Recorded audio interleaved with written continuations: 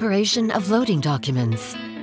Organization and concentration are the key words for the proper preparation of loading documents. Task interruptions can significantly distract agents and lead to errors.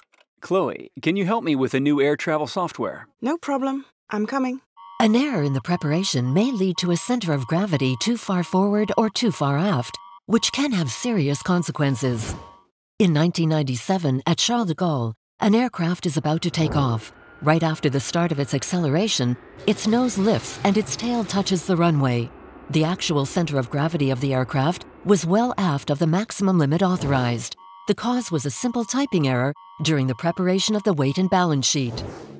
The same year, just before landing, at the extension of the flaps, the aircraft pitched up until it stalled. It crashed on the island of Guernsey. A center of gravity that is too far aft can have dramatic consequences.